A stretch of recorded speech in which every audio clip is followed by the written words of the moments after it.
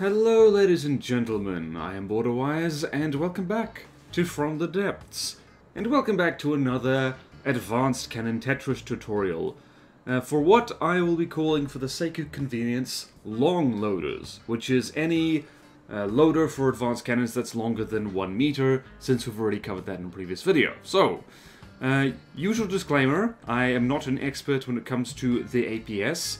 Uh, what I'm going to show you in this video is the stuff that uh, works for me and is essentially about as straightforward as I can make it in terms of making reliable advanced cannons. So, that's basically it really. So before anything else, I'm just going to introduce you to the shell uh, that we're using on this particular fortress. It's nothing fancy, 250mm HE warhead uh, with a 2 meter loader length. So that's what we're starting with, 2 meter loaders because that's the next size up. So the thing about uh, uh, loaders that are longer than 1 meter is that the Tetris for them I kind of uh, split it in between horizontal and vertical configuration. So if it's basically, it's geometry. So if you have a 1 uh, by 1 by 1 meter um, uh, block, you can, like, vertical and uh, horizontal is basically exactly the same. There's no functional difference, which means that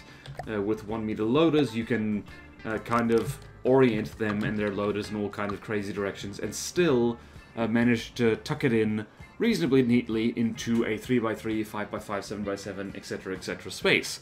Uh, the split second you have something that is more than one meter long, now there is a functional difference between uh, orientating them uh, vertically or horizontally. So, say I have a, uh, let's just go here, a 3 uh, by 3 space, and I want to organize my blocks in a certain way. With 1 meter loaders, I can have 9 of them, easily.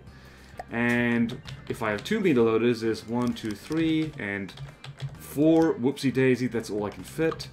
Uh, or I can stick 9 of them again, but it's just that's taking twice as much volume. So it depends on what uh, constraints you have uh, to work with. So, big distinction there. Like, the longer loaders are where these things get a little bit more complicated, and hopefully what I show you is helpful in being slightly less complicated. So, uh, remembering back in the Misty Mist of times talking about uh, loader stacking, which is basically the bulk of the turret, the main column so to speak, is made up of the loaders. So here we have a line of loaders, and clips coming off to the side, because whenever possible replace uh, loaders with clips, uh, unless you have good reasons not to. And the inputs are a side note here, the ammo intakes are on the front, because the ammo intakes, funnily enough, uh, they don't explode. So this uh, buys the turret about a nanosecond if the hull uh, in front of it is breached and the turret compartment is breached. And this buys an extra, oh, I don't know, maybe an extra, well, nanosecond, like I said, before the actual turret gets taken out and the whole thing falls off or blows up. So yeah, that's the main reason I stick inputs, uh, or intakes rather, in the direction uh, the turret is pointing, which is the front usually. So what is the deal with this thing is that, well, it's just a loader stack, and uh, 2 meter loaders are where this loader stack can stops being straightforward, because uh, turrets in From the Depths, um, the they go up in odd numbers, so to speak, and the shape they take uh, needs to be adjusted as you go. So you can have a 1x1 turret, which hardly ever gets seen uh, because it's not very useful. And then you get 3x3 turrets, which can turn uh, in a space. Then you get 5x5, 7x7, uh, so on and so forth. And the thing with 2 meter loaders is that once you stick an input on the end of them, like so, oh look, that's uh, that is 3 meters long exactly. And once you have this, then you have three by three, and you can stack them right there. If you have just one thing longer than that, now you have a 4 um, meter long uh, configuration, which just, this does not work well as a turret. You, it doesn't actually turn, because From the Depths um, hates things uh, that are even width in general. This is even width. And admittedly, you can go up to uh, 4 meters, uh, but you'll notice this is starting to get increasingly big, and you need to do fancy stuff in order to keep this uh, all in there. It also means that if you want to be symmetrical, um, with your um, replacing loaders with clips, uh, you will now have noticed that uh, this is no longer completely even, and so it's not a bad thing. We're still um, got functionally five autoloaders in here, uh, but this is starting to make things a little bit weird uh, and complicated. So, two meter loaders is where this kind of uh, uh, loader stacking um, that's about as simple as it gets for long uh, loaders, and it's all downhill from there. So, generally speaking, what you're probably going to see and probably use a lot is vertical stacking. So that's just orientating uh, the loaders um, vertically so that you can make a nice circular shape uh, using the fact that they are uh, 1 meter by 1 meter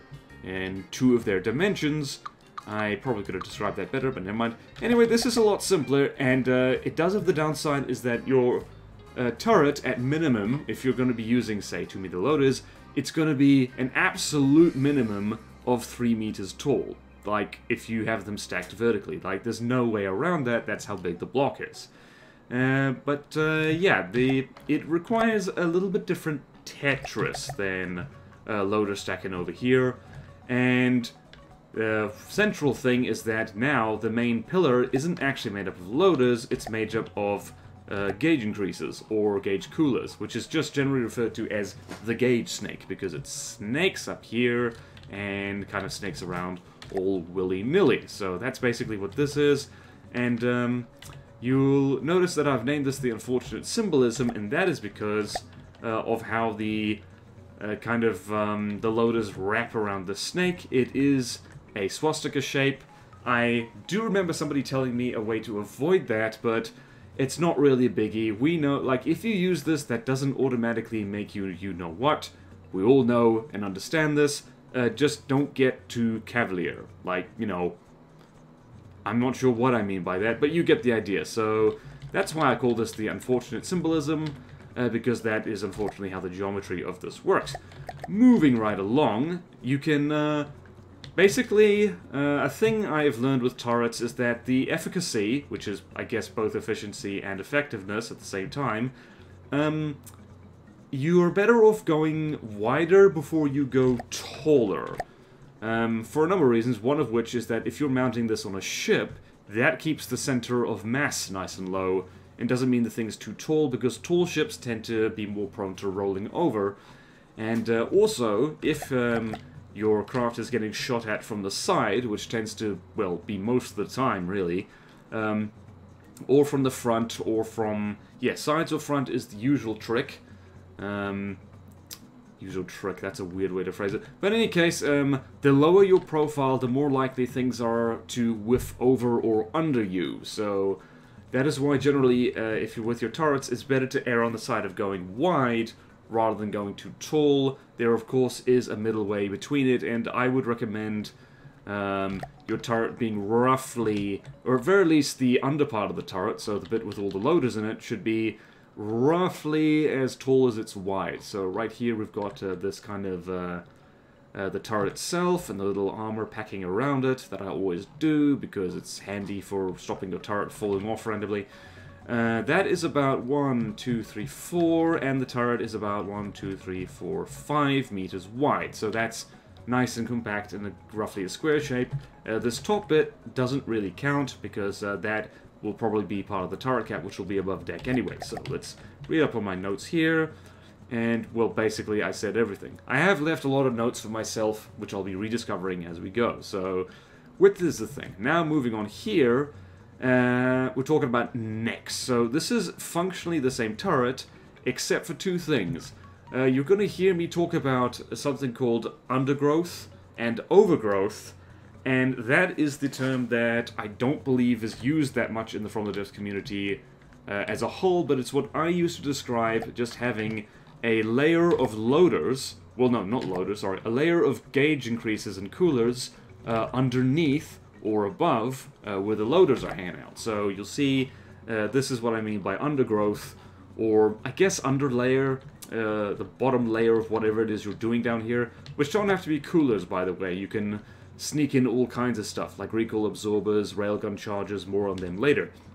And the main reason for doing this is that uh, this is just kind of making a base uh, for your stuff to sit on, and it also means that um, if I do this, for instance, uh, this is not connected, but now it is. So basically you're creating a foundation to stick uh, loaders on, and they can be nice and connected, which makes APS Tetris, uh, particularly once things get a little bit bigger, a lot easier, because it means they don't have to be uh, just spiraling off uh, the same central column, which you will run out of room eventually.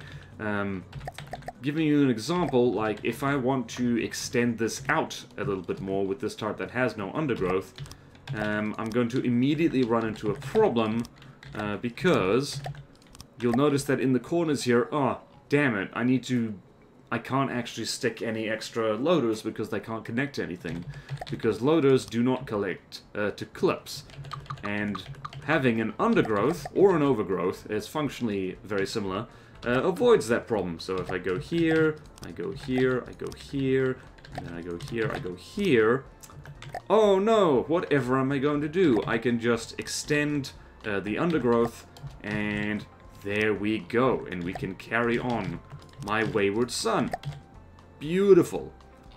Molto bene! The, uh, the APS turret is coming together. Why did I turn Italian? So, uh, I tend to use undergrowth and uh, a lot when I design APS turrets, and simply because, if nothing else, it allows you to get the cooling out of the way. You'll notice that this has, um, uh, it's 26.2 rounds per minute, which isn't super good, but this turret is kind of on the small side, and it's doing, well, it's, uh, it's less than this one, I believe, but you will notice that this one, uh, because it's kind of short, it kind of has to stuff all its coolers into the turret right here. And so this is one of the advantages of having a neck, uh, by the way, is I don't always use them. They're not essential, uh, but it is handy to keep your turret cap small, and this is what the neck is good for, because it means that you can essentially do this. So you go here, and this is a uh, one by one turret neck, which is not a very good idea, so I don't recommend you do that. But it means that you can essentially have only a small part of the entire system above deck, which is very handy, very straightforward. You can, um, like what you have here, have a necklace design, uh, but there's pros and cons for that. The main advantage for that is that uh, the whole system is shorter, it doesn't need to be as tall, but it does mean that there's a more direct line uh, from the top uh, straight down into your turret. So, in practice, uh, even my necklace turrets tend to have an extra layer of armor in between uh, what is usually the uh, top layer of intakes or loaders and uh, what's sitting on top of them. So, handy to keep in mind. And now we go over here. So, this is where, once things get a little bit bigger, is uh, you can stack them on top of each other. So this is a fun, interesting thing, and it was where uh, having both undergrowth and overgrowth of coolers comes in handy. So, uh, going for roughly the same height as width seems to give best overall results. One big APS is generally better than multiple smaller ones, mostly because of the cost saving from not needing multiple firing pieces, barrels, coolers, etc. More on that in a second. So, you'll notice what I've done here is it's very similar to what I've done here. We've got a layer of coolers down here. Here is a five-way connection down there. These things are fantastic. There's no reason not to use them, if nothing else because they cost exactly the same as the corners, the four-ways, and the splitter. And so I just have just a layer of these things right there, simply because, well, why not? It makes it idiot-proof. And then just a layer of coolers with some gauge increases there, get all the cooling out of the way.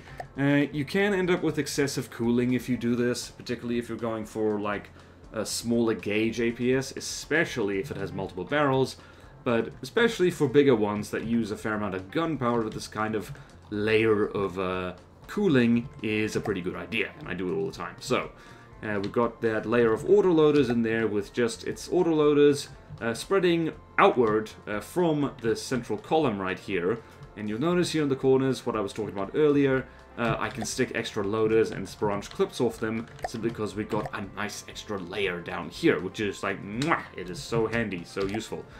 But then, uh, up on top here, uh, room for another layer of loaders, we've got another layer, so overgrowth. And where this is handy is that if I uh, wasn't gonna have that, uh, I would be in trouble if I just tried to stick the same uh, configuration of loaders just there, because the corners would be, well, orphaned, I guess. They wouldn't be connected. Which is why this is actually exactly the same configuration, uh, but the corners are upside down, so they're still connected. So you'll see here, this autoloader is attached to the top, and it's got clips coming off the bottom, uh, unlike down here, where it's connected uh, down there. And these guys uh, don't need to be uh, flipped upside down, because there's just a line of autoloaders connected to the central part here. So what happened was, I built this, I prefabbed it, I stuck it up here, once making sure there was enough room for it, and then I just flipped the corners uh, upside down, so everything's nice and connected, and super cool. And the great thing about having uh, layers like this is that you can just jam uh, whatever you need in here, there, and everywhere if you don't need that much cooling. And in this particular case, I've snuck a recoil absorber in here, which is fantastic. And you'll notice that the recoil is sufficient, so as per usual, uh, you want to balance uh, the firing rate as limited by autoloaders, ammo intakes, uh, cooling, and recoil, because if you have too much recoil, your gun is very inaccurate. Incidentally, up here, you'll notice I've done uh, another form of unfortunate symbolism uh, with recoil absorbers. So this is something uh, that I do fairly often, and I even have a prefab for it. It's just, uh, if you want to get as much recoil absorption into a a 3x3 slice, so to speak. Um, I actually find this kind of useful, simply because if you want to wrap around a 1 meter, um, a 1 meter space, uh, 2 meter long things are quite handy for that, and I do that fairly often in building. So, Recoil absorber here, here, here, here, unfortunate symbolism, much apologies, but it allows me to uh, essentially get as much recoil absorption into that space as I could possibly think of. There's probably a better way of doing this, but I'm not sure what it is. So, and coincidentally, uh, if you don't need any more cooling, what you can do is use connectors instead. So connectors come in handy uh, once you don't need any more coolers or gauge increases and you don't have to worry about joining different APS systems together and you can do uh, stuff like this and you just carry on uh, my wayward son and just get as much recoil as possible. Super handy dandy. And um, I'm going to blow up a Marauder uh, just because uh, we're here. So you'll notice that all these things uh, have different rates of fire, and uh, here is where uh, my little memo down here, uh, talking about how one big APS tends to do better than a bunch of smaller ones. APS comes with like a standard set of cooling, um, just as part of the firing piece. It's built in, recoil absorption and all that.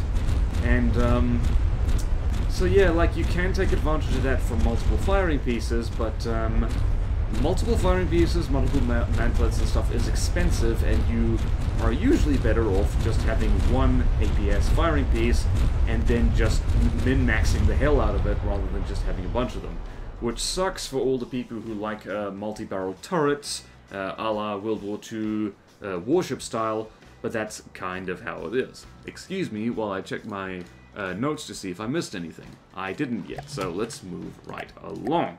Let's talk about uh, 8 meter loaders. So, I have skipped ahead uh, to this because 8 meter loaders are where people's eye is naturally drawn because that is as big as APS loaders get. And here are, is um, where we really see uh, the the functional difference between height between stacking your loaders vertically uh, versus horizontally. So the thing with an 8 meter long loader, especially if you do what I've done here and stuck some undergrowth underneath it, is that it's really damn tall. And automatically you're going to have a ship that's really damn tall, is the thing, you know. So let me introduce you to what these things are firing. These are 400 millimeter guns uh, because uh, the maximum um, ammo controller length, or ammo customizer, is one, two, three, four, five, uh, four block uh, components, so with four modules on it, and that's about as long as shells can get. They cannot get any longer than this. That was uh, a pretty essential patch added some time ago, because otherwise APS shells can get, you know, even more ridiculous than they already are. So this is um, one of my favorite shells. It's HP Sabot, And funnily enough, you don't really need railgun draw in order to make this thing as it is useful, because it's got as much gunpowder as you can possibly jam into it. It's got 42 armor piercing, and in this configuration it does like 13,000 thump damage, so it's nothing to sneeze at. And speaking of railguns, this is where things get interesting. So, first I'm going to talk about the loader configuration. Is This is something I've worked out with uh, 8 meter loaders. Is you'll notice there's a fair amount of connectors in here, and quite possibly I'm being a little lazy uh, in just replacing all of this with connectors. Uh, not the best idea. I can just do this. Yeah, and now I can stick other things in there. I could stick even more recoil absorbers in there. But I don't have to.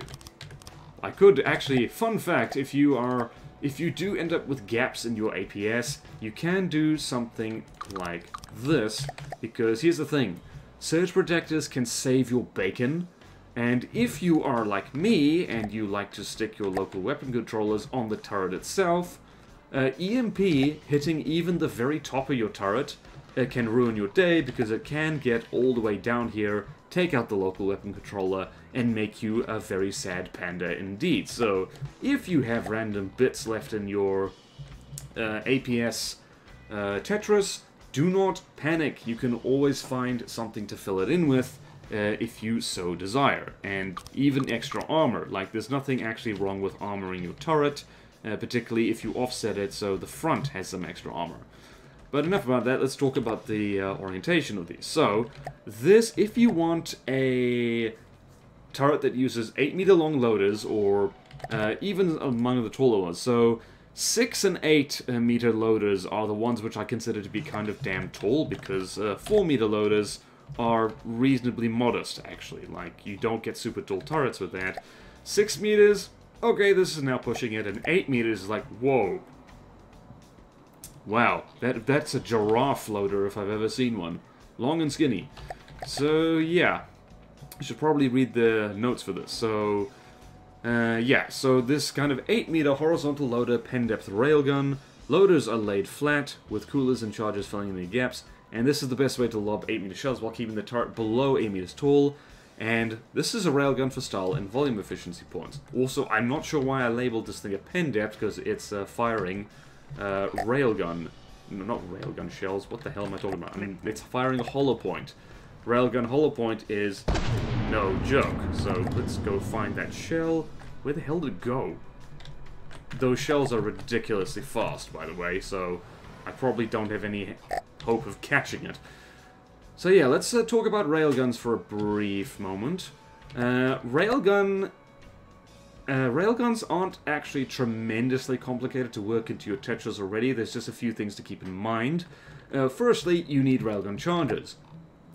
Uh, railgun charges are fairly easy because they connect to each other. So you'll see I've kind of got this overgrowth uh, set up right here, and the railgun charges are just stacked uh, onto each other like that. So if you have a, a central um, a line of cooling vents or connectors or gauge increases, you can just branch them off that, and that's not particularly difficult.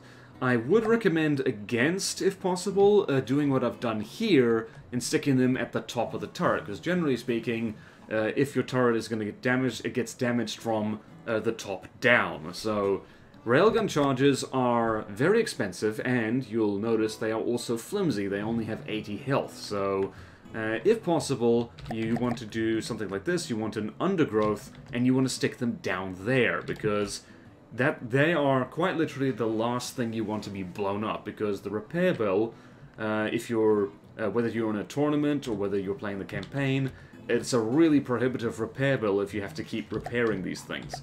So yeah, that's the thing to keep in mind. And the other thing to keep in mind is that you need um, railgun magnet attaching fixtures, which attach to either side of the APS firing piece, and uh, important thing to note, depending on what mantlet you're using, depends on how many of these things uh, you can use. So uh, these things uh, determine how many lines of uh, barrel magnets you can use, and these things increase uh, the fraction of vehicle energy available to the railgun. So you need a minimum amount of railgun magnets in order to get them uh, a certain amount of juice into the railgun, so to speak.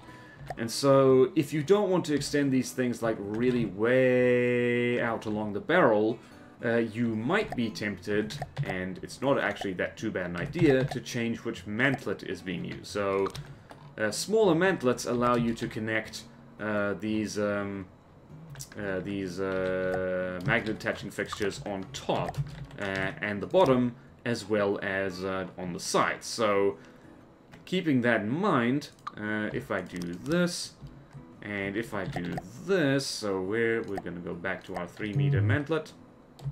I'm going to take that off.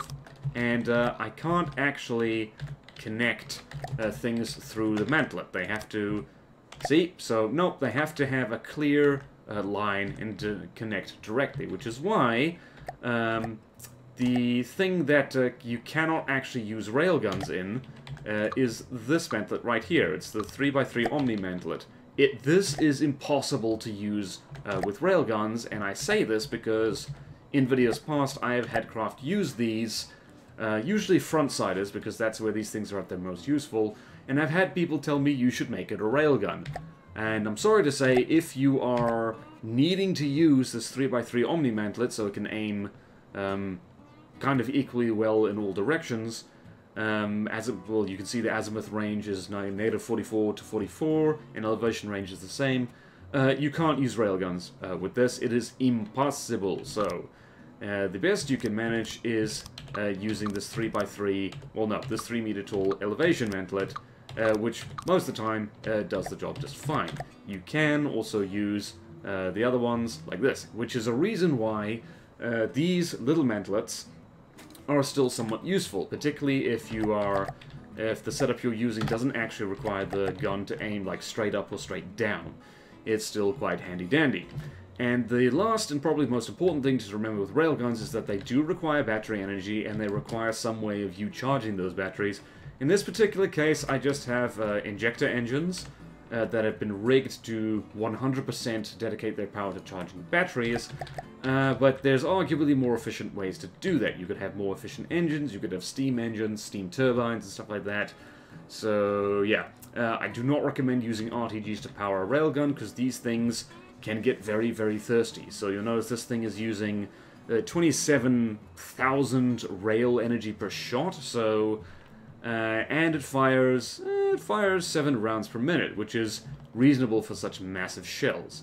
So now I've banged on about the railgun, let's talk about this and why I actually like it a bit more. I have a habit of not using railguns that much simply because it's an extra layer of complexity, and they require a backline that looks something like this. Um, this, however, is a note as to why it's quite handy to have both uh, uh, undergrowth and overgrowth uh, for shells that have a lot of gunpowder, because uh, I remind you, this thing is mostly gunpowder, so uh, it's going to make the barrel hot, hot, hot, and means it needs a lot of cooling. So, in this particular case, you can see how much cooling it is because there's this large base that's almost 100% coolers apart from the bits which aren't, this long line of coolers, and then even more coolers up here. So you can see the cooling limit is 34.7, actually slightly more than we need. And uh, yeah, so this thing has a pretty decent rate of fire, and you'll notice uh, the setup right here. So once again, we've got the unfortunate symbolism, uh, recoil rings uh, just being like here, and of course that's not quite enough, so we have extended uh, this thing out a little bit uh, with connectors because we don't actually need any more coolers and we have stuck uh, 8 meter long recoil absorbers on them. So yeah, and there is a little bit of extra space left in here, but like I said, if you're really paranoid, uh, you can do stuff like this, make absolutely sure that you don't get fried by EMP, that might be a bit of overkill, but yeah, that is handy. You'll also notice I've stuck stuff placing forward, so uh, recoil absorbers are... I do have the habit of sticking them up in the turret cap. That is probably not the best idea, and I don't recommend doing it because, well, these are actually kind of expensive. So you'll see uh, gauge increases, they're about 20. Uh, materials, health of 150, armor 5. Uh, these things have a fair amount more armor, but um, yeah, they're pricey, so you don't actually want to stick them where they can get shot at because, like I said before, repair bill is expensive. So I'm just gonna disintegrate something beautiful uh, with this. Where is my friend the Tarpon? Uh, there we go. So yeah, the large kinetic APS uh, guns like this are... Excuse you, Tarpon. They're real endgame weapons because there's no hard counter to them. Uh, they're hard to dodge, and um, they do a hell of a lot of damage, so... To give you an idea of how much damage, um, well, you've already seen this does about 17,000... Uh, wait, no, it was, a, how much was it? I forget, it's like 13,000 uh, uh, thump damage. This thing has 27,000 rail use. So if I go here and go 27,000, uh, suddenly that's about 18,000, but much higher armor piercing, which means uh, this thing melts heavy armor like there's uh, no tomorrow. You see the Tarpon is uh, having a really bad day, partially because it's mostly made of wood, but also because uh, Strong Gun is strong, Strong Gun is Deacon's hell. So yeah, big big rail guns, uh, whether they be uh, penetration depth shells or just straight up uh, hollow point sabot, uh, they're no joke. Really no joke. Let's see.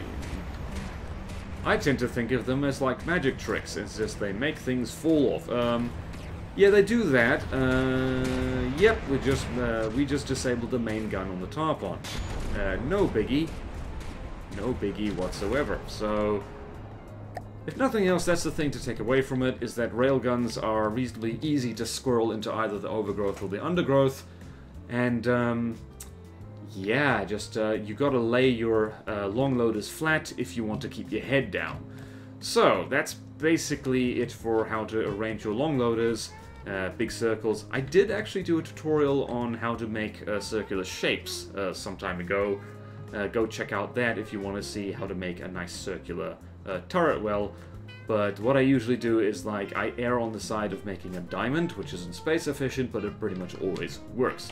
So yeah, we're gonna move right along. What else can we talk about? We can talk about ejectors.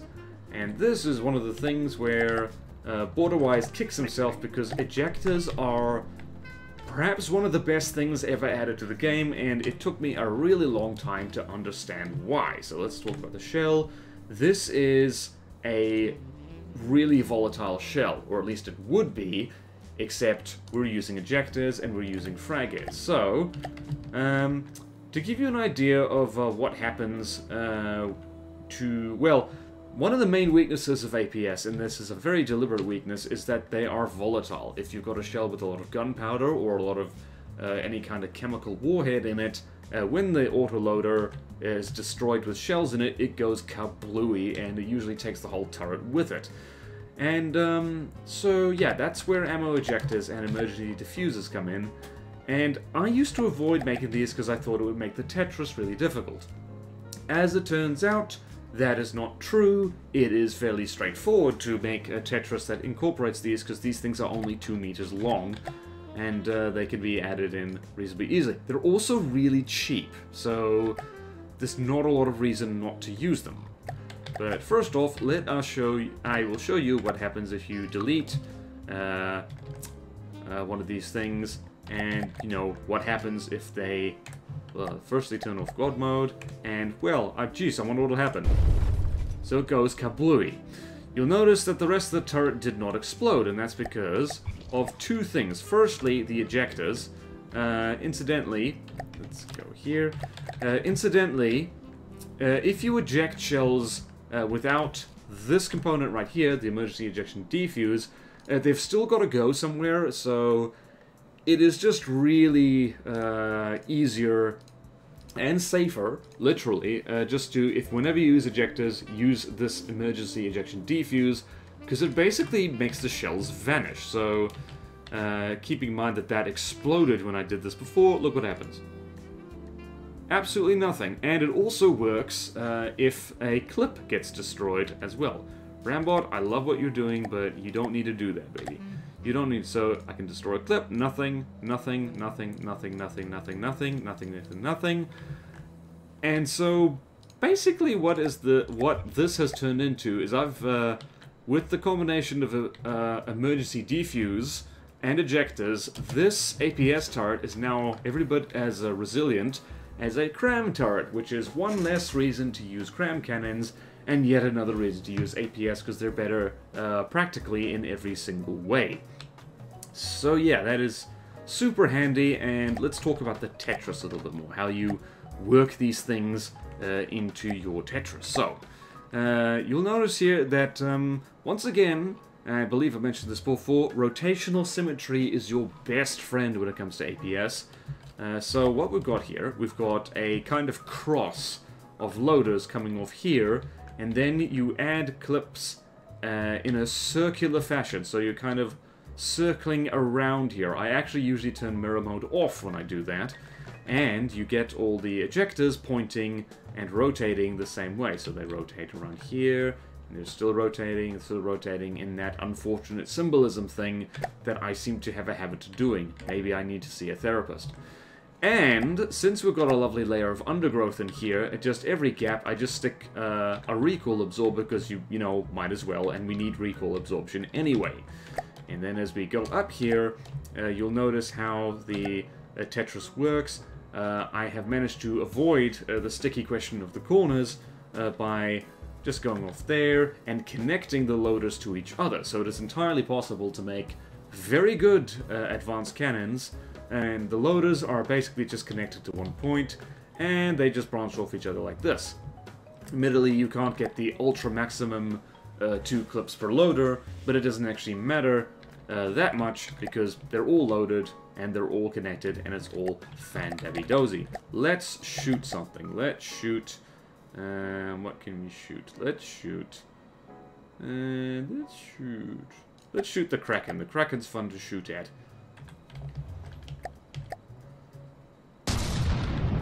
So yeah, this is a 500mm gun, by the way. And um, I'm just going to casually turn off God mode. And you can see for yourself that uh, this thing has taken like multiple, well, multiple high-powered explosive shells to the face, and it's not disintegrating immediately. In fact, the fortress full of ammunition disintegrated before the turret did. So yeah, super... Wow, now it's being juggled. So yeah, you still need to protect and armor your turrets because uh, it's a bit of a problem if you don't do that. So yeah, and last but not least, let's talk about multiple piece. Um, oh darn it, I spawned the thing too high. I spawned it too high. Too high. And now I sit on this fortress that was just exploding because I'm conscious of safety. So, this is where things get a little bit hairy. So, like I said before, you are usually better off having one really big, super optimized APS system rather than a bunch of smaller ones all squeezed into the same turret. Uh, but there are reasons uh, to have multi-piece turrets, and the main reason that I think about is that it makes it a lot easier to lob a bunch of different kinds of shell all at the same time. So here are the shells. You'll notice that I'm always introducing the shells first, and that is because when designing an advanced cannon, it is usually smarter, I say usually, it's not always, uh, to design the shell first and then build a gun for that shell rather than the other way around. Because otherwise you do what I end up doing, just endlessly testing a gun, trying to find the perfect shell for it, and it's just a lot easier to design the shell first and think, hmm, okay, I can picture what this needs. So here we have our shells, and this one is called Becky, and she is a pure HE uh, shell. Uh, this one is called uh, Stacy, and she's a pure frag shell. Uh, this one is Helena, and she's pure EMP, and this one is Jackie, and she's pure flak, for no other reason than that's cool. And I've already forgotten all the names I gave these shells, so I'm not sure why I went with this bit. But in any case, uh, all these chemical warheads have their advantages and their drawbacks, and if you want to be cute and want to be sure that uh, you get the benefits of uh, all of them without uh, too much of the drawbacks. You lob uh, multiple, uh, well basically you lob them all at the same time. And this is where multi-cannon turrets come in super handy. So you'll notice right here we've got our friend uh, right here, which is a double turret, 500 millimeters, 4 meter uh, long shells times 2, and, as I was saying before, good for easy lobbing of more than one shell from one turret. Rotational symmetry is very handy here. So I've made notes of the total turret cost and the total RPM, basically counting both guns. Um, uh, this costs about uh, just shy of 27,000 materials. Total RPM is 11.8 uh, per gun times 2, 23.6. And so the reason why that's important is because there's diminishing returns later um, if you stick too many firing pieces on the same turret. So let's talk about Tetris. So immediately the highlighted building thingy is super handy because you can see which uh, half belongs to which gun and which doesn't. I have also painted the inputs so it's clear to see what belongs to what. So, important thing here is that none of uh, the loaders touch and uh, none of the connectors should uh, touch like this. This is a no-no uh, because that confuses the hell uh, out of everybody. Uh, so you might not want to do that. So it's rotational symmetry again. You'll notice that uh, what usually how I do this is that I start from the front and then I have kind of all the clips roughly pointed the same way and we rotate around there, and that means this gap in the middle, uh, in between these two guns, which otherwise would have to be left uh, empty if you wanted to be perfectly symmetrical between them, is filled with clips, and right in the middle it is filled with uh, recoil absorbers, because you're going to need those anyway. Recoil absorbers are the things that I always kind of stick in last, um, simply because once all the shells are loaded, that's when you look at the firing piece and go, hmm, how much recoil does this need?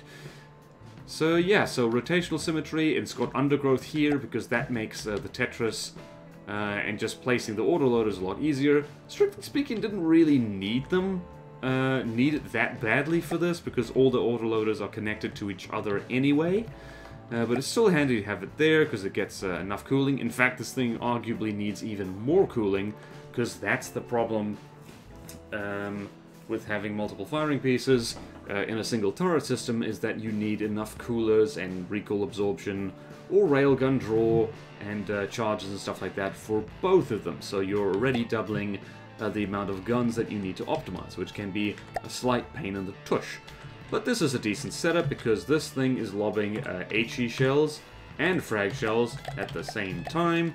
So I'm just gonna go uh, demonstrate that. So generally speaking, it's um, this, let's go here and turn that off. There's no particular reason to do this, but I feel like it. So we got our friend right here. Bang! Let's go there.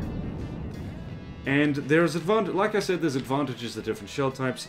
Uh, frag tends to make real mincemeat of um, uh, things that get in its way, but it's not as... Uh, it doesn't damage blocks as evenly as HE does, amongst other things. So if we go there. Also, that just landed uh, straight on the shields, and I hate that, so I'm gonna keep firing for a little bit. So there the HE shell does something.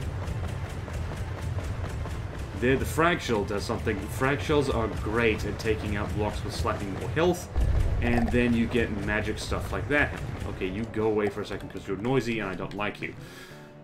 But what about uh, triple-barreled guns? How do you deal with that? So that's uh, this is where things get a little bit funky, and triple-barrel guns are actually probably the least advisable uh, number to go for, even though it is super cool because it evokes things like, you know, the Iowa-class battleship and stuff like that, and all the World War II nerds love these, and it's understandable why.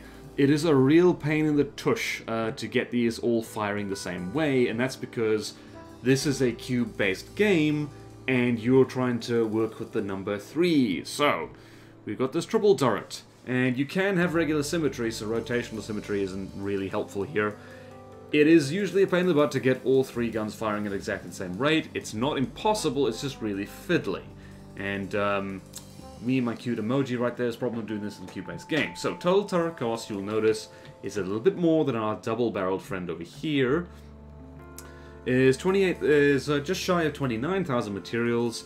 In total, RPM is 7.3 times 2, uh, plus 12.6. So the guns on the side here, unfortunately, don't fire very fast. 7.3, 7.3, 12.6 means you get 27.2, which is slightly more shells per minute uh, than our friend over here. Uh, but for, oh dear, like 2,000 more materials, which isn't actually that bad now said out loud. So yeah, that's handy dandy. And um, this one is actually slightly easier. So here's the thing, triple turrets, uh, less optimized because they're not all firing at the same time. And yeah, like you'll notice they're also spaced slightly differently, which isn't a game changer because uh, you can always get the corners in to just kink in the neck and go up a little bit. But that means you need to do something with this uh, top layer right here. And it's all a giant kind of pain in the tush. So yeah, so uh, this guy in the middle is the HE turret and it's just pretty straightforward and just got this line of um, loaders down here. And very important thing here, you'll notice that the loaders are offset here. They're not touching. So whenever you build multi-barrel turrets like this, you got to make sure the autoloaders are the number one culprit uh, for uh, one gun accidentally taking all the loaders and just making a mess of things. So they're just offset. And this is one of the reasons why, in this case, uh, undergrowth is actually very helpful because it means that you can just uh, offset them no problem and you don't need to get a massive headache figuring out exactly how to do that.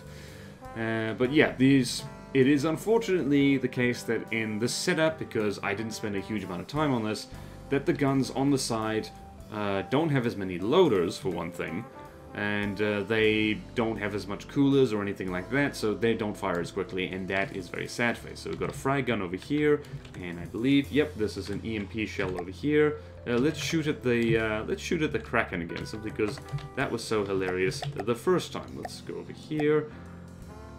So EMP shells are not handy on their own, but uh, if you want to be cute, um, uh, you can do stuff like this. And I'll immediately show you that uh, you'll notice that the HE shells tend to come in a lot faster. So there goes uh, the frag shell again. Just gonna do that. Bang, bang, bang, bang, bang. Yep, and there's the EMP shell. EMP, very handy for uh, turning off uh, things like uh, local weapon controllers, munition warners, uh, laser warners and stuff like that. Super handy. And it's just, if nothing else, I kind of like uh, the staggered fire uh, feeling that you get. Well, see right there, we just turned that off that CIWS turret. It also vaporizes shields, which is super nice. Bang, bang, bang. I was holding the wrong turret. Shoot! And shoot once more. Blow something up, please. Why are we aiming for something very stupid? We're aiming for something very stupid. How about now?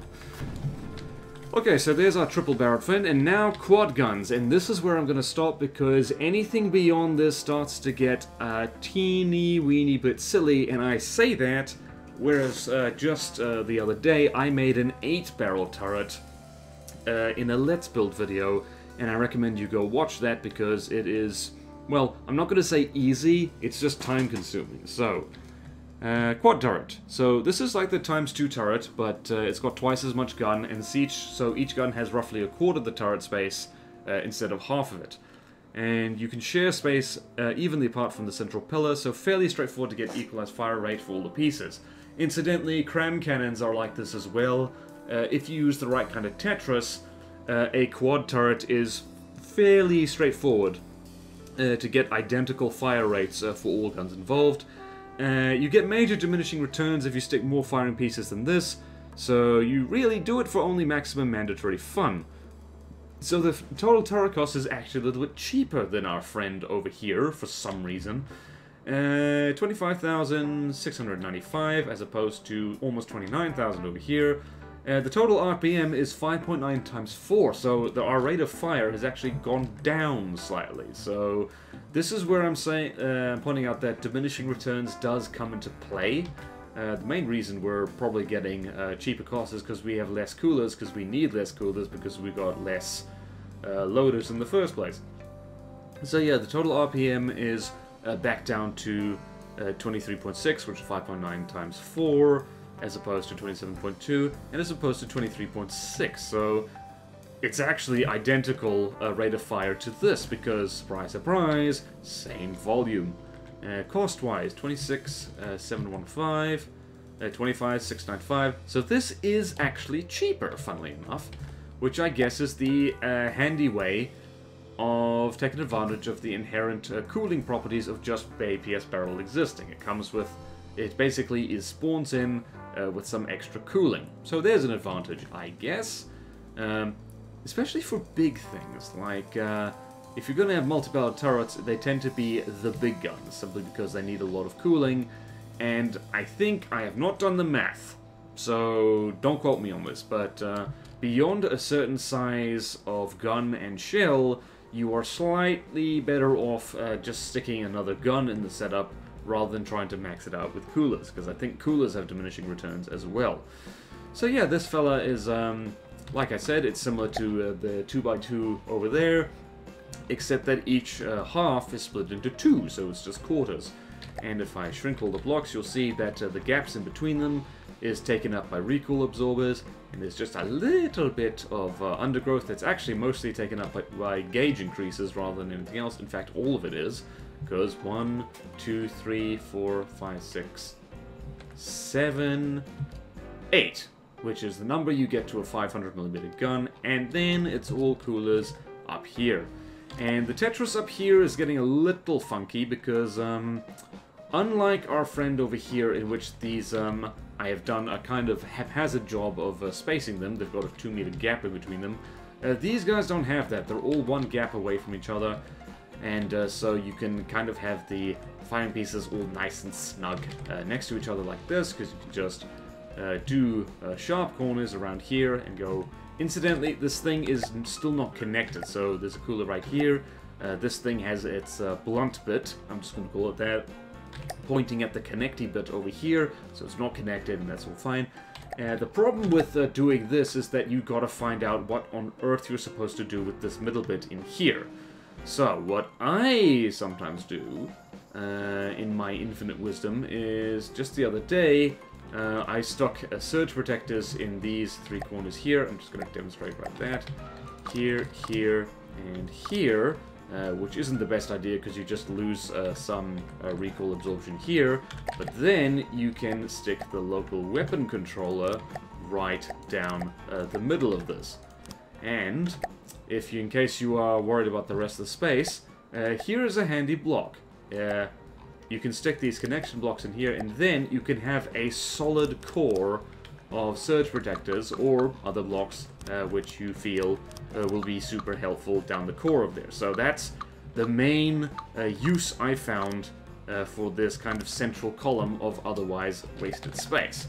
And quad guns are super cool otherwise. So uh, let us celebrate just by um, uh, blowing up the Kraken again. So we're gonna go here, Kraken, open fire with the guns. Bang. And bang. So notice that middle gun over on the on the triple turret actually has the best rate of fire out of all of these. I love flak explosion, they're great. So basically, yeah, that is the... I guess... I have no idea whether this counts as basics, because beyond a certain point, uh, basics and From the Depths actually gets kind of complicated. So, call that a uh, miniature tour miniature tour. This video is almost an hour long. A tour of the APS techniques which I find help me a lot in my Tetris. And they're reasonably straightforward and simple. And they make things which go bang in a satisfactory way. So, on that note, uh, I hope you learned something. And if you didn't learn something, I hope you enjoyed me shooting at the Kraken. So thank you all so much for watching. Please like, comment, subscribe if you want to see more videos like this. Support me on Patreon or YouTube membership if you like. It really helps, and there's fun perks in it for you. Thank you to all my current supporters, and I will see you next time in From the Depths. Farewell, wave goodbye, turrets.